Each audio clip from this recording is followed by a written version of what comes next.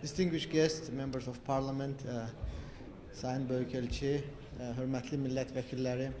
Uh, I would like also to thank uh, Anatolian Heritage Federation for organizing this event.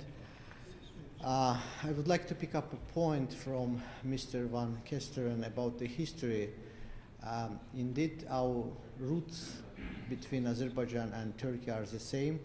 We speak almost the same language, we have the same culture, shared history, and uh, our former president Heydar Aliyev even told that uh, about Turkey and Azerbaijan, bir millet, iki devlet, uh, one uh, nation, two states.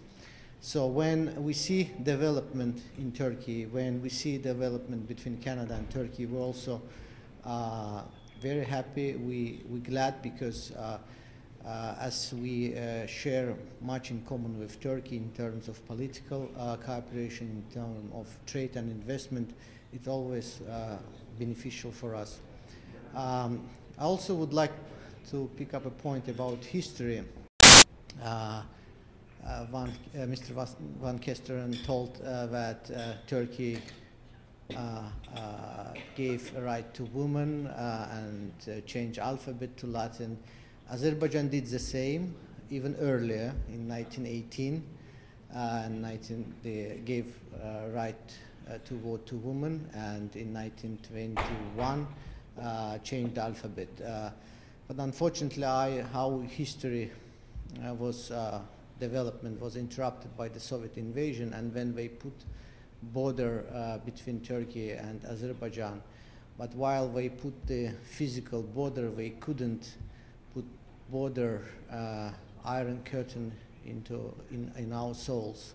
So when the Soviet Union collapsed, it was natural that we uh, became united again. Here in Canada, in our my third point about history, we um, uh, we've seen some some uh, I would be frank negative development when uh, some group of interests, uh, namely Armenian lobby, tried to uh, advance some historical claims. Uh, I did that point early, uh, on some other events previously, and I would like to reiterate that the relationship between countries in the world should not be a hostage of domestic parochial considerations, constituency votes. There is much more uh, between countries to look in the future.